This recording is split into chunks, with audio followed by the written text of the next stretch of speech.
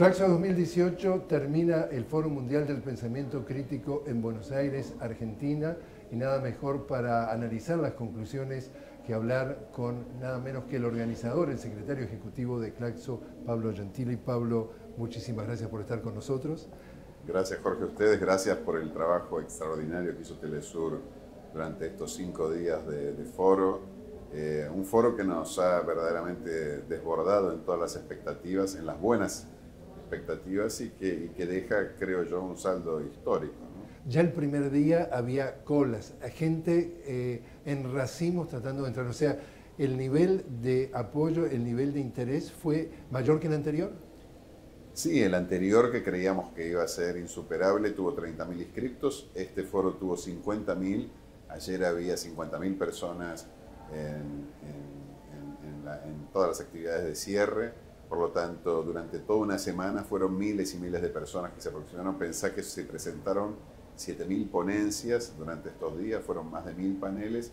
Y en las jornadas de apertura que mencionabas, eh, un, lugar inmenso como es el Club Ferrocarril Oeste se quedó desbordado, el propio barrio en donde se realizó esta actividad con la presencia de la expresidenta Cristina Kirchner, de Dilma Rousseff, y son tantas otras figuras que creo le dieron el tono al, al foro. Y este foro tiene un elemento que es muy gratificante y es eh, decir, decirnos a nosotros mismos, pero también decirle al mundo que, que, hay muchísima gente que cree que hay alternativas y que no estamos esperando a que el neoliberalismo fracase para comenzar a diseñar estas eh, alternativas, que estas alternativas las estamos construyendo hoy y las estamos construyendo pensando en un futuro que tenemos la más absoluta seguridad no va a tardar mucho en llegar. Aquí estamos hablando que han venido figuras de las ciencias sociales de todo el planeta, de todos los países. O sea, también esa diversidad de opiniones y de visiones aportó. Sin lugar a dudas, hubo más de, 50 países presentes en este, en este foro.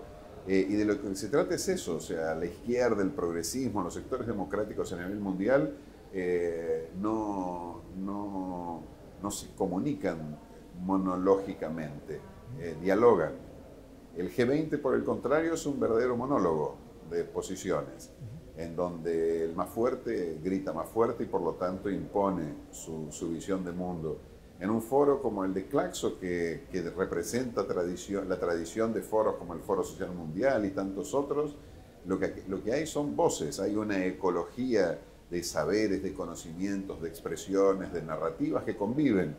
Eh, hay una, diversidad de, diagnósticos que no se anulan a sí mismos, aunque sean diferentes, y que confluyan en un mismo horizonte, que es el de construir un mundo más justo, un mundo más libre, un mundo de paz, un mundo de derechos, un mundo donde haya más espacio para las personas como vos, como yo, como cualquier otro, que en definitiva lo que, lo que buscamos es vivir en un mundo en donde nuestros derechos no sean meras proclamaciones discursivas que nunca se cumplen y fundamentalmente los que menos tienen eh, puedan ser reconocidos como ciudadanos con derechos plenos.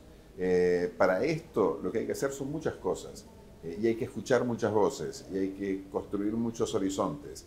Eh, es en definitiva de la pluralidad y de la diversidad de visiones de mundo que se construye un mundo mejor, no de la anulación de la diferencia o de la disidencia. Es este, es este pluralismo el que nosotros necesitamos orientados en una misma dirección. O sea, hoy el neoliberalismo construye un mundo desigual, concentrado, donde la riqueza se crece y se multiplica, pero se acumula cada vez más en pocas manos, donde los privilegios se fortalecen, los derechos se desvanecen, donde las libertades disminuyen y donde la prepotencia aumenta. Frente a este mundo lo que necesitamos es una alternativa y aquí lo que escuchamos son alternativas viables y posibles. Vimos también que en América Latina hoy se vive un momento de claroscuro, por decirlo de una manera creativa mientras hay esperanzas o se ve como un paso positivo lo que pasa en México. Decía la expresidenta Dilma Rousseff que lo que acaba de pasar en Brasil con la llegada de Bolsonaro es una tragedia. ¿Cómo ve Claxo todos estos claroscuros que está pasando en una región que vive un momento bastante peculiar? Bueno, creo que muchos de los que estamos aquí creemos que la historia del mundo es la historia de las luchas por los mundos y evidentemente Brasil expresa una dimensión trágica de esa lucha. La, llegada de Bolsonaro al poder es la demostración de que la democracia puede eliminarse a sí misma con métodos democráticos. No creíamos que en algún momento esto iba a ocurrir, pero está ocurriendo. Siempre pensamos que la democracia se iba a defender a sí misma eh, y ahora vemos que se puede usar la democracia para imponer un gobierno antidemocrático. Ahora, esto es una parte de la historia de lo que ocurrió en Brasil durante estos últimos meses, porque así como Bolsonaro hizo su campaña y así como Bolsonaro ganó las elecciones, también eh, hubieron y existen y seguirán existiendo en Brasil una enorme cantidad de expresiones de lucha, de movilización, de organización popular que no podemos eh, anular por una derrota electoral. Lo que ocurrió en Brasil es que la derecha, una derecha militarizada, racista, machista, patriarcal, colonial, ganó las elecciones, militar, una visión militarizada de la sociedad, del sistema educativo, de la cultura, se ha impuesto. Pero esto es una elección, eh, no es eh, el fin de una guerra, es apenas un momento en esta guerra de posiciones que estamos jugando entre los que defendemos la libertad, la justicia social y la igualdad y los que tratan de construir un mundo para pocos en el que caben pocos y en el que los privilegios de pocos se imponen al, sufrimiento de muchos. Por lo tanto, eh, es verdad que eh, la mayoría del pueblo brasileño votó por Bolsonaro, pero ese, ese porcentaje fue 52%. Quiere decir que hay un 48% que dijo que no. Y quizás hay muchísimos de esos 52% que en los pocos días que Bolsonaro comience a gobernar se darán cuenta que se habrán equivocado. En, definitiva, la lucha continúa y esas luchas son las que le van a dar sentido a, nuestra historia. y, nuestra historia, como la historia del mundo, no es una historia que eh, avanza evolutivamente, por etapas, como si fuera una especie de plan eh, predeterminado, racional. La historia es muy contradictoria y a veces las victorias están mucho más cerca de lo que uno imagina. ¿Y México? Y México nos, brinda también una inmensa esperanza. Tenemos, sin lugar a dudas, una gran expectativa en el gobierno de Andrés Manuel López Obrador, eh, por varias razones. Primero, porque es la primera vez que México tiene en muchísimas y muchísimas décadas un gobierno progresista, de izquierda, se mantuvo al margen de todos los procesos de transformación democrática de América Latina durante estos últimos años y por el contrario se fortalecieron alternativas de derecha en México que ahora se vieron derrotadas electoralmente. Pero a México hay que aplicarle lo mismo que estamos diciendo a Brasil. No pensemos que una victoria electoral es la derrota y también pensemos que una victoria electoral es ya el triunfo definitivo. Hay mucho que hacer, hay muchos desafíos que conquistar. Eh, el gobierno de Andrés Manuel López Obrador enfrentará grandes dificultades. Hay que defenderlo, hay que trabajar junto con ellos, hay que apoyarlos eh, y también hay que, hay que instigarlos a que no se dejen eh, derrotar por las amenazas, por la violencia, por, la, por las resistencias que van a enfrentar. Eh, se ha dado un gran paso en México, hay que seguir dando otros grandes pasos porque también es nada menos que la frontera entre Estados Unidos y el resto de, de América Latina. Y creo yo que a los Estados Unidos del presidente Donald Trump le interesa mucho que la experiencia Andrés Manuel López Obrador fracase o que por lo menos eh, se muestre incapaz de cumplir gran parte de las promesas de, igualdad, justicia social y libertad que Andrés Manuel eh, ha prometido a su pueblo, porque si, lo, si, si consigue hacerlo, eh, mostrará lo que en definitiva la derecha siempre quiere mostrar, y es que la izquierda no sabe gobernar. Y en realidad la historia muestra lo contrario, la izquierda, es verdad, eh, solemos ser bastante persistentes en nuestra capacidad para perder elecciones. Pero cuando gobernamos, gobernamos bien. Pablo, en cifras, para culminar. Claxo, estamos hablando de 600 organizaciones e instituciones en el mundo entero eh, afiliadas o, parte de esta, de esta organización. Danos algunos datos, incluso tu relación con UNESCO. Bueno, Claxo efectivamente es una red, una gran red de más de 600, ya ahora casi 700, estamos en, 690 instituciones en 45 países del mundo, no solo América Latina y el Caribe, sino en todo el mundo, en los cinco continentes. Somos un organismo consultivo de la UNESCO. Eh, tenemos un vínculo de filiación muy directa con la UNESCO, no solo por el trabajo que realizamos, sino también porque eh, fuimos creados por una iniciativa eh, que UNESCO tomó, desarrolló, impulsó en América Latina, también en África, en Asia y ahora muy recientemente en los países árabes, que son estos consejos académicos. Pero nosotros no somos una institución solamente académica, somos una institución que cree que las ciencias sociales son un, aporte, una contribución para transformar el mundo.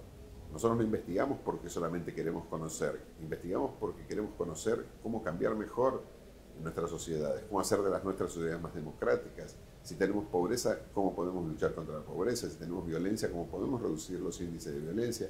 Si los derechos fundamentales de los seres humanos son sistemáticamente y cotidianamente violados, cómo podemos mejorar y crear condiciones políticas para que los derechos sean afirmados y garantizados a, la población.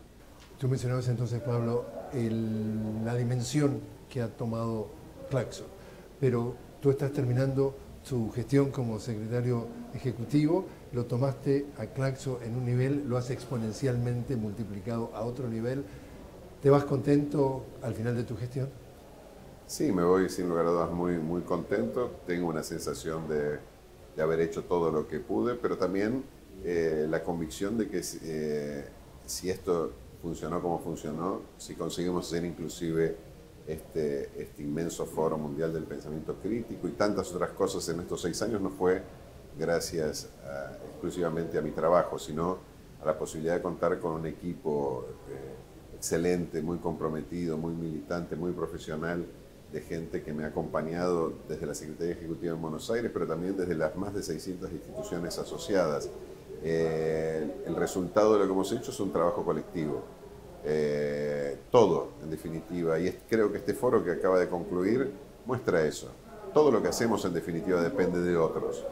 Eh, cuando, cuando hacemos algo que, pretende contribuir a construir un mundo más justo, unas universidades más comprometidas, instituciones de investigación eh, que, que, usen todo su potencial creativo para producir conocimientos que ayuden a transformar el mundo, cuando lo conseguimos hacer es porque estamos trabajando juntos, mano a mano, codo a codo, brazo a brazo, eh, mancomunados en, un trabajo comunitario. Y creo que esto es una gran enseñanza que por lo menos a mí la, experiencia de Claxo me deja. En nada es producto de una única persona. Todo, todo lo que significa la construcción de proyectos eh, eh, que, pueden trascender el narcisismo individual y que se transforman en oportunidades institucionales, políticas, educativas, culturales más amplias, es porque hubo mucha gente involucrada, hubo mucho tiempo dedicado, eh, donde, donde hubo mucha, mucho compromiso y mucha pasión metida en esto y, y, ese siempre es el trabajo colectivo. Crear espacios colectivos hoy donde nos escuchemos, nos entendamos, nos cuidemos, nos protejamos y al mismo tiempo avancemos juntos, es, es, creo yo, el gran desafío que tiene hoy en un mundo, este mundo en convulsión que nos reunió en Buenos Aires en este Foro Mundial del Pensamiento Crítico, que creo yo será histórico. Pero si esto ocurrió no es porque nadie, no es porque uno solo hizo su trabajo, sino porque todos hicieron eh, el trabajo juntos y, y lo que se ve es en definitiva una gran obra colectiva. Pablo Gentili, muchísimas gracias por haber estado con nosotros. No, muchas gracias a ustedes, como siempre, y gracias por el trabajo que Telesur hace acompañando, mostrando otra realidad, la realidad que algunos ocultan. Gracias de nuevo.